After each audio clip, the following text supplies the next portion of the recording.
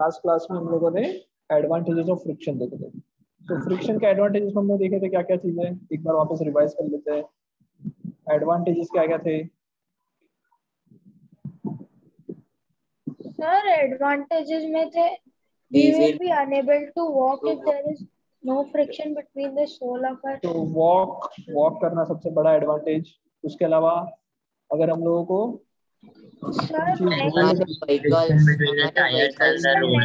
there must be a friction Okay. between the tires of vehicle and the road vehicles vehicles uses friction to move right अगर ये नहीं होगा तो क्या होगा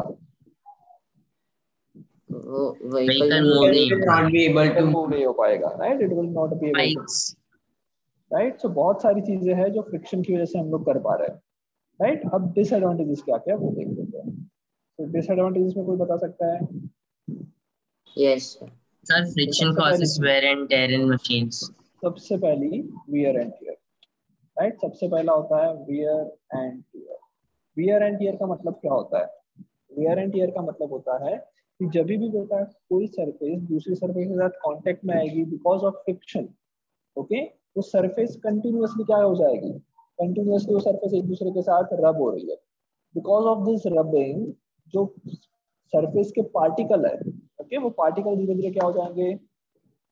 वॉन आउट हो जाएँगे। वॉन आउट होने का मतलब जैसे कि मान लो ये एक सरफेस है, ये सरफेस का मान लो नीचे वाली सरफेस है एक, और ये मान लो यहाँ पे एक दूसरी सरफेस है राइट right? अब ये जो दो सरफेसेस है, वो एक दूसरे के साथ क्या रहेगी? कंटिन्यूस फ्रिक्शन में रहेगी।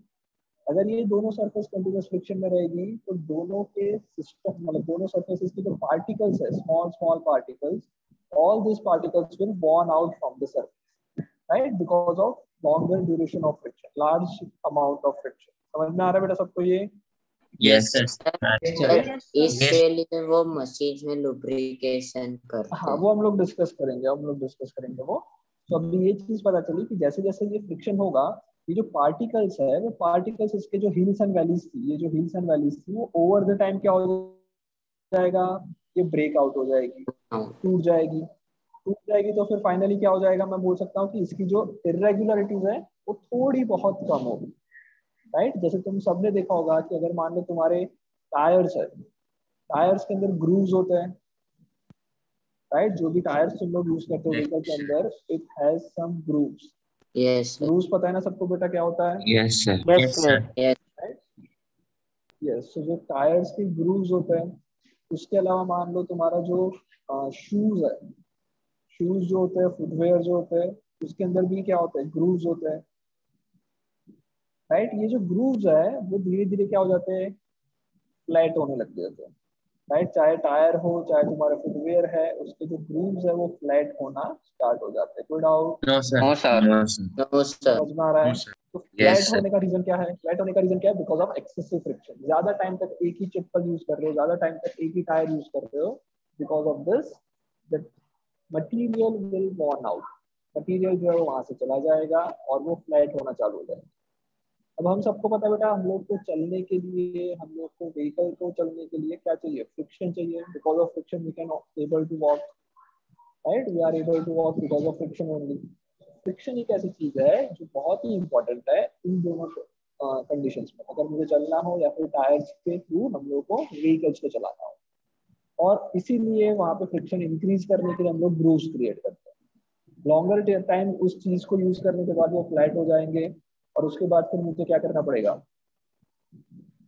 उसके बाद या तो टायर चेंज करना पड़ेगा या फिर मेरे शूज़ है या जो फिर- है वो चेंज करने पड़ेंगे। आ रहा है समझ में? Yes, sir. ये Yes. इतने हो. जाएँगे कि अगर तुम उसी उसी शूज़ को पहन के उसी को पहन के अगर चलोगे तो फ्रिक्शन पॉसिबल नहीं होगा उतना जल्दी से क्रिएट हो। फ्रिक्शन उतना जल्दी मतलब उतना ज़्यादा फ्रिक्शन क्रिएट नहीं होगा हो पाएगा। And because of which we can slip more offer तो ग्रिप चली जाएगी ऐसा हम बोलते हैं। तो ग्रिप जाने का मतलब होना है वियर एंड टियर समझ में आ रहा है? Yes, Yes, sir. sir. Okay. पहली चीज़ लिखो फ्रिक्शन कॉजेज फ़र्स्ट थिंग लिखो। पहला पॉइंट लिखो। Friction causes friction causes wear and tear wear and tear in the machines tires okay machines tires right और उससे क्या होगा because of which because of which material gets damaged right because of which material gets damaged okay समझ में आ गया Yes, sir. yes sir. Yes, sir. Okay so machine के अंदर भी सेम चीज़ होती है बेटा जो भी बड़े बड़े मशीन होते हैं उसके अंदर कंटिन्यूअस दो सर्फेसिस कांटेक्ट में रहती है और ये दोनों सर्फेस कंटिन्यूअसली अगर कांटेक्ट में रहेगी फ्रिक्शन रहेगा बिकॉज़ ऑफ़ फ्रिक्शन उसके अंदर भी वेयर एंड टीयर हो जाएगा okay and because of this wear and tear machines may not be work right समझ में आ गया ये? Yes. पहला पॉइंट Yes, समझ में आ गया yes. कि फ्रिक्शन के Yes, दूसरा दूसरा क्या बेटा? जब भी sir waste of energy yes waste of energy yes वो वेस्ट ऑफ़ एनर्जी की हम लोग अभी डिस्कशन करेंगे राइट तो वियर एंड टीयर से वेस्ट ऑफ़ एनर्जी नहीं होने वाला। वियर एंड टीयर से क्या होने वाला है? जो मशीन है वो Material का degradation होगा. मटीरियल का डिग्रेडेशन होगा मशीन खराब होगी मशीन चलना बंद कर सकती है। ये सारी चीज़ें होती है because of friction okay and wear and tear wear and tear की वजह से। आ गया समझ में Yes, sir. थोड़ा आउट sir. no दूसरी चीज़ दूसरी चीज़ क्या होती है? तो सेकंड चीज़ लिखो सेकंड पॉइंट लिखो।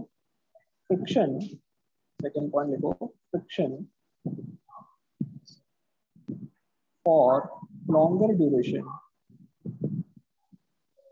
For longer duration slash excessive friction excessive friction can produce can produce heat. Okay excessive friction can produce heat लिखा यहाँ तक Yes, sir. which which due to which लिखेगा due to which due to which energy gets converted that gets wasted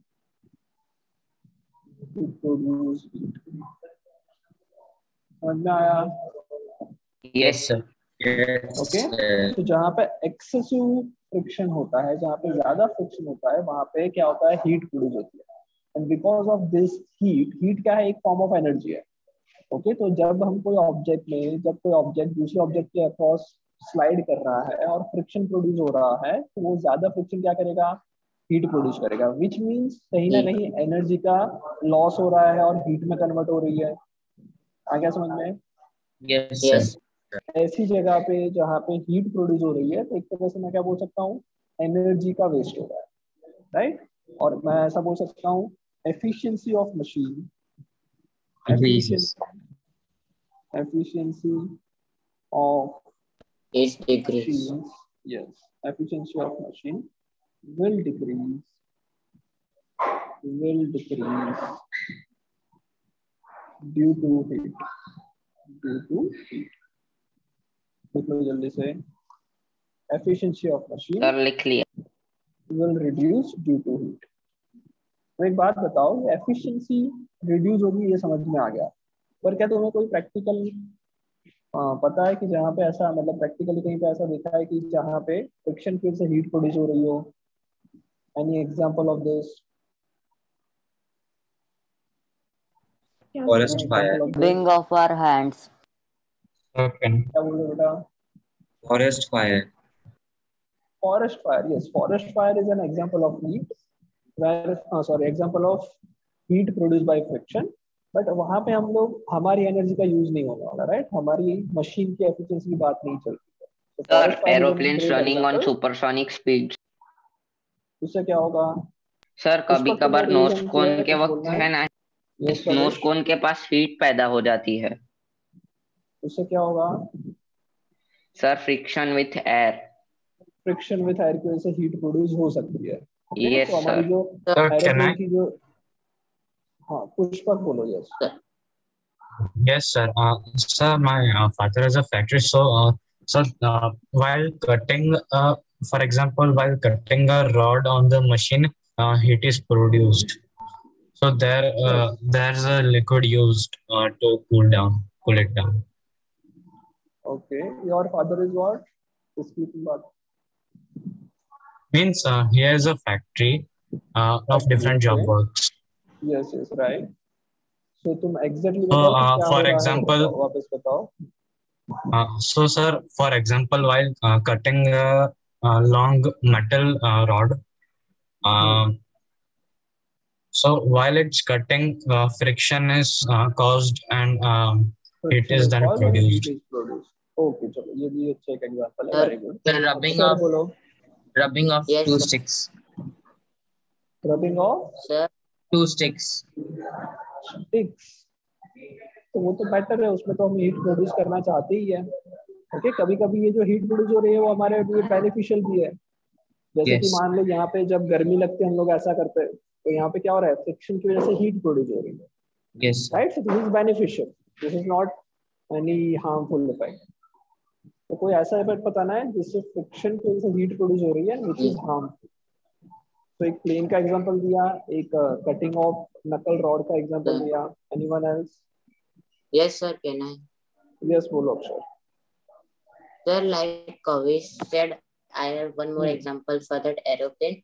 Uh, sir, it is uh, when a plane lands, uh, there are hydraulics attached to its tire rods, tire shaft. So uh, when the plane lands, that hydraulic starts working, and the section in which it moves up and down, there also uh, they uh, when they uh, repair, I mean they repair that uh, whole aeroplane, recommission that aeroplane uh, at that time that when they check I, I seen a video when they check that section it was all black uh, because due to friction so they told that there also friction was there and it uh, this is dangerous because it can catch fire as heat is produced in large amounts yes very good और कोई example कोई थोड़ा normal example बोलो जैसे Sir, सबसे can I? Relate हो सके yes Devkar Sir, the train moving on the rail track. Train moving in on a rail track will produce heat, yes, okay? उससे क्या होगा? बेसिकली अगर मैं ऐसा बोल सकता हूँ कि because of that friction which is converted in heat energy okay उससे क्या होगा? थोड़ी सी एफिशिएंसी कम होगी I can say that anyone else anyone else yes Nilesh sir mixie को अगर जब हम वो वो हम रोटेट होता लोग तब ज़्यादा देर तक यूज़ करते हैं स्विच ऑफ़ कर दे तो वो हीट प्रोड्यूस होता है वो जार में। हीट प्रोड्यूस होता है यस वेरी गुड ये भी एक एग्जांपल सही है। ओके वरना एक सिंपल एग्जांपल हम ऐसा भी दे सकते हैं कि जब बेटा हम लोग अगर लेट्स से एक कोई भी व्हीकल है ओके वो व्हीकल का जो इंजन है वो इंजन में कंटिन्यूसली जो सिलेंडर है पिस्टन है वो भी हीट प्रोड्यूस करता रहता है because of friction right so वहाँ पे भी हीट प्रोड्यूस हो रही है विच इज़ नॉट डिजायरेबल तो ऐसी बहुत सारी जगह है, बहुत सारे मशीन्स ऐसे होते हैं जहाँ पे कूलेंट का यूज़ करते हैं। कूलेंट का यूज़ करने का मतलब कि हम लोग कुछ एक्सटर्नल एजेंट्स का यूज़ करते हैं और उसकी वजह से उस हीट एनर्जी को रिड्यूस करने का ट्राई करते हैं। राइट तो फ्रिक्शन जो है, उसकी वजह से हीट प्रोड्यूस हो रही है और उसके लिए हम लोगों को उस हीट का ज़्यादा इफ़ेक्ट ना हो, उसके लिए हमें कुछ ना कुछ सॉल्यूशंस क्रिएट करने पड़ते हैं। समझ में आ गया? So this is also an disadvantage of friction बेटा वीडियो सब लोगों को ऑन रखना है। प्लीज़ वीडियो ऑन रखो। ध्यान जय सर मैंने आपको रीजन भेजा है। पीयूष ओके नो इशू देवा यानी तुम भी नहीं करोगे तो चलेगा नो प्रॉब्लम बाकी लोग बेटा वीडियो ऑन रखो। Rehan please turn on your video चलो सो ये दो पॉइंट समझ में आ गए सबको? Yes, sir. किसी को doubt yes sir. Yes no sir चलो सो दोनों लिख लिया इतना ये दो चीज़ लिख लिया। Yes yes sir yes sir okay और कोई एडवांटेज डिसएडवांटेज बोल सकते हो? वियर एंड टीयर और कोई एग्जांपल और कोई तुम डिसएडवांटेज फ्रिक्शन का बता सकते हो? चलो सो एक और एग्जांपल बेटा हम लोग लिख सकते हैं। जैसे फ्रिक्शन जो है अभी लिखना मत मैं जस्ट लिखता हूँ यहाँ पे अभी मत लिखना। फ्रिक्शन जो है अगर फ्रिक्शन नहीं होता तो क्या व्हीकल्स चल पाते? No no sir no sir नहीं चढ़ पाते ओके बट मैं ऐसा बोलूँ कि फ्रिक्शन की वजह से व्हीकल की स्पीड रिड्यूस हो जाती है। तो क्या ये सही है या गलत है? सही है सर सर सही है। एग्ज़ाम्पल बताओ फिर। अगर फ्रिक्शन नहीं होता तो चल ही नहीं पाते यार। अब तुम ऐसा बोल रहे हो फ्रिक्शन है तो तुम्हारी स्पीड रिड्यूस हो रही है। तो तुम कंट्रोवर्सी कर मतलब रहे हो। किसका एग्ज़ाम किसी का भी एग्ज़ाम्पल जैसे कि मान लो एक साइकिल की बात करते हैं। लेट्स से एक साइकिल है। ओके ये साइकिल चल रही है। साइकिल के हम ये हम लोगों ने डिस्कस किया था लास्ट क्लास में। yes. अगर याद है तुम लोगों को यस डिस्कस किया था साइकिल के लिए हमने? सर आपने बोला था कि अगर इसको रुकना है तो क्या करेंगे? हाँ सर तो आपने बोला था तो कि इसको क्या करेंगे? पीछे पीछे से साइकिल का पीछे पीछे वाला ही हाँ पीछे की व्हील्स का जो कांटेक्ट है उसको ही हटा देंगे। यस सर राइट ये हमने डिस्कस किया था। तो एक बात बताओ इसका मतलब फ्रिक्शन जो पीछे की व्हील पे लग रहा है वो आगे की तरफ़ लगता है। ओके मेरी आवाज़ क्लियर आ रही है सबको? Yes yes sir okay yes तो सर फ्रिक्शन जो बैक व्हील पे लग रहा है it is very important and उसी फ्रिक्शन की वजह से साइकिल आगे चल रही है। ओके बट दूसरी चीज़ जो फ्रंट व्हील हमारा है फ्रंट व्हील पे जो फ्रिक्शन लगता है ना वो पीछे की तरफ़ लगता है। आ रहा है समझ में? यस सर यस अगर मान लो Yes. पीछे का व्हील का सॉरी फ्रंट व्हील पे जो फ्रिक्शन लग रहा है वो पीछे की तरफ़ लग रहा है। तब तो होगा क्या? अगर मैं फ्रंट व्हील पे फ्रिक्शन इंक्रीज कर दूँ तो क्या हो जाएगा? मेरी साइकिल की साइकिल स्पीड रिड्यूस हो जाएगी। साइकिल विल यस साइकिल का स्पीड रिड्यूस हो okay? तो एक तरह से फ्रिक्शन यहाँ पे जो रेड कलर का मैंने मार्क किया हुआ है वो फ्रिक्शन जो है वो कैसा है? It has some advantage right ये हमारे लिए बेनिफिशियल है। ये हमारा एडवांटेज मैं बोल सकता हूँ कि ये बेनिफिशियल है। बट साथ ही साथ जो दूसरा फ्रिक्शन लग रहा है वो क्या कर रहा है? वो उसको रोक रहा है। वो रोक। तो ये तो डिसएडवांटेज है। समझ में आ रहा है? Yes sir But Yes, sir. और तो इस इस एक एग्ज़ाम्पल से बहुत अच्छी चीज़ तुम्हें समझ में आएगी कि फ्रिक्शन के एडवांटेज भी बहुत सारे हैं। अगर नहीं होता फ्रिक्शन तो साइकिल नहीं चलती। और डिसएडवांटेज भी है। मतलब अगर आगे के व्हील में फ्रिक्शन है तो वो क्या कर देगा? स्पीड कम भी कर सकता है। Okay so friction can reduce the speed also and because of friction we can move also दोनों चीज़ पॉसिबल है। आ गया समझ में? Yes, तुमने अगर जनरली देखा होगा Yes. सुपर बाइक्स होती है Yes, बहुत अच्छी बाइक्स होती है जो रेसिंग की बाइक्स होती है। उसका जो रियर व्हील होता है रियर व्हील जो होता है वो ब्रॉड होता है। तुमने देखा होगा। ब्रॉड रियर होता है। यस ब्रॉड होने का रीजन क्या है? ब्रॉड होने से फ्रिक्शन ज़्यादा मिलेगा। फ्रिक्शन ज़्यादा हुआ तो क्या होगा?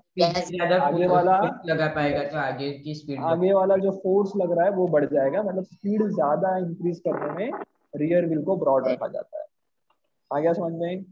यस सर एक सिंपल दूसरा एग्जांपल अगर ये चीज़ समझ में नहीं आई तो कि अगर मान लो ये जो साइकिल है अगर उसमें फ्रंट में व्हील हटा के अगर स्क्वायर ऐसा बॉक्स रख दूँ तो बहुत बड़ा प्रॉब्लम हो जाएगा। साइकिल चलेगी क्या आगे. कोई बता सकता है कि क्यों नहीं चलेगी साइकिल आगे? सर मैं बताऊँ। तो कांटेक्ट बढ़ जाएगा तो फ्रिक्शन इंक्रीज हो जाएगा। और कुछ और कुछ अक्षर बोलो।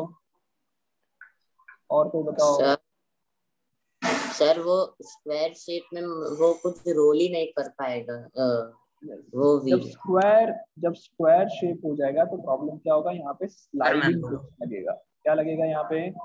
स्लाइडिंग फ्रिक्शन स्लाइडिंग फ्रिक्शन लगेगा। और पीछे जो लग रहा है वो कौन सा फ्रिक्शन है? Rolling rolling friction right rolling friction है। होगा हम सबको पता है कि sliding friction is more than rolling friction मतलब पीछे जो फ्रिक्शन लग रहा है पीछे जो फ्रिक्शन लग रहा है वो ज़्यादा हो जाएगा। अगर ये फ्रिक्शन ज़्यादा हो गया तो बेचारी साइकिल चल नहीं पाएगी। आ गया समझ में?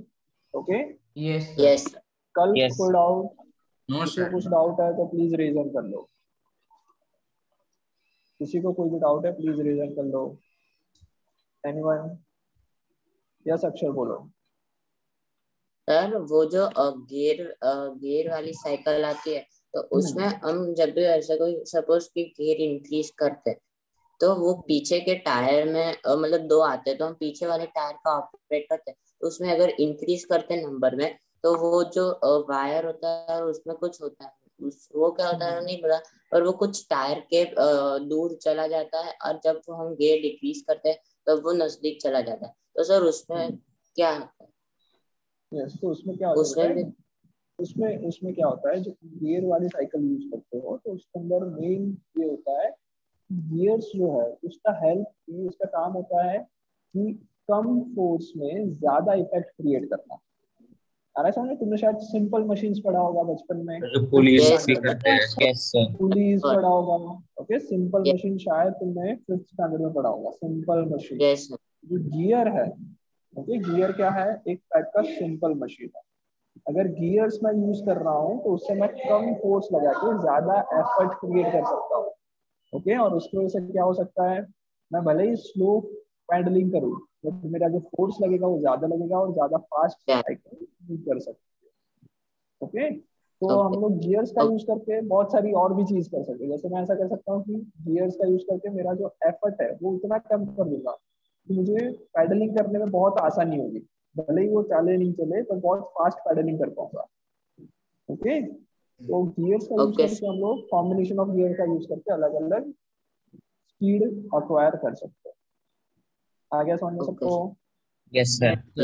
चलो ओके सो थर्ड पॉइंट लिख लो थर्ड पॉइंट लिख लो।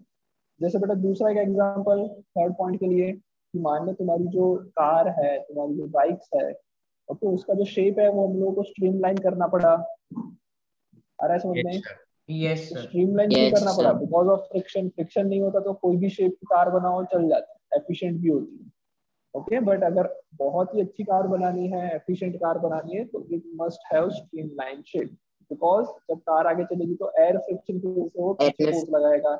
एयर फ्रिक्शन उसको रोकने का ट्राई करेगा।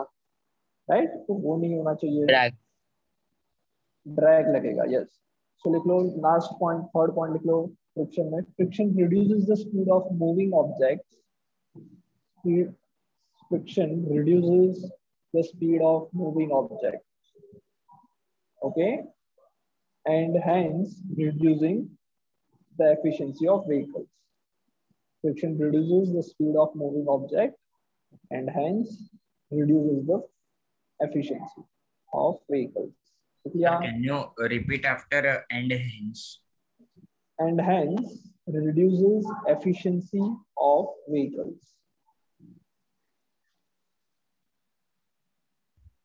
I guess one way. Yes. Yes, sir.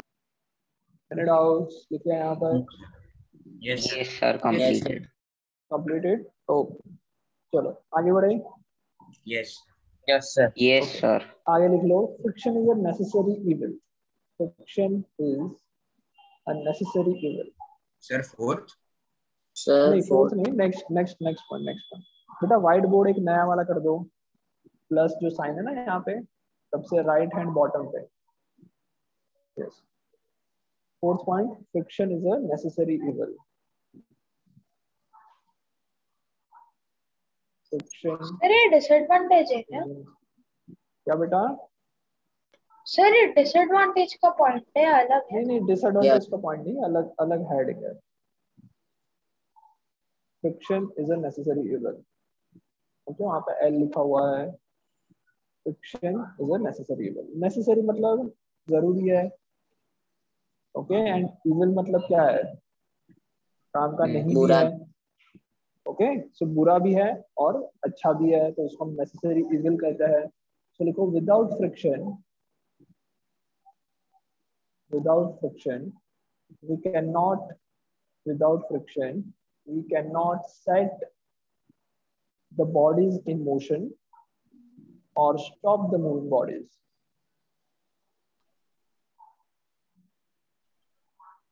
Sir, can you repeat? Friction, uh, without friction, we cannot set the bodies in motion.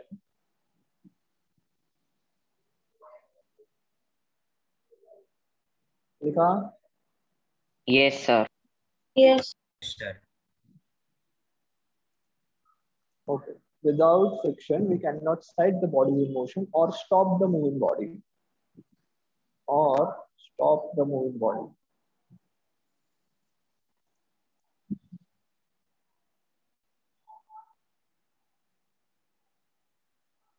Done.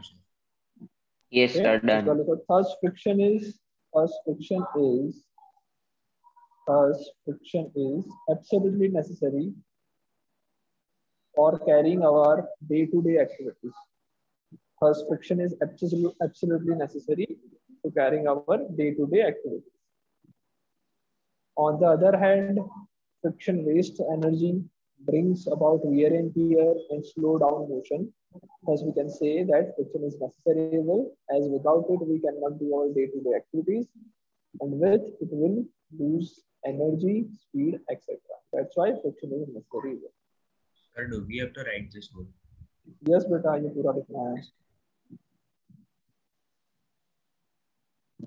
Yes.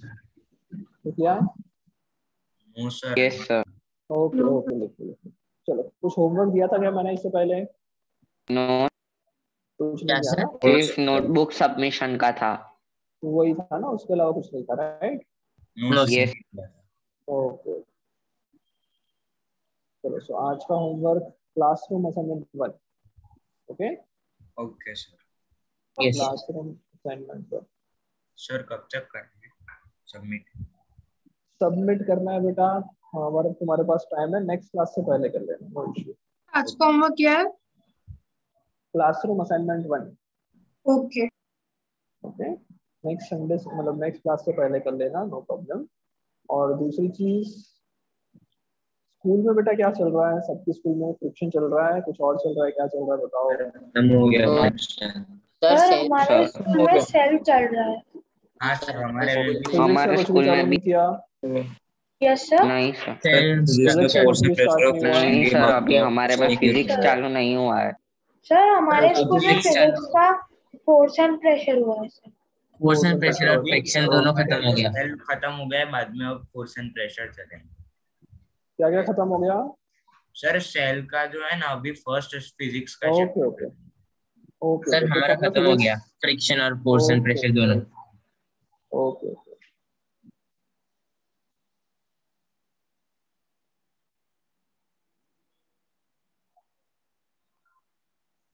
Okay चलो सो आज यहाँ तक करते हैं। यस सर राइट किसी को कोई डाउट है तो पूछ लो अभी भी। Any doubt no sir okay चलो bye bye bye sir bye sir sir. Yes बोलो। सर जो होमवर्क असाइनमेंट है वो हमें सबमिट करना है कहीं पे कि बस ऐसे सॉल्व करना है? सबमिट करना बेटा मैं गूगल क्लासरूम पे अपलोड कर रहा हूँ। ओके अभी Okay. बाय चलो bye bye bye bye sir bye sir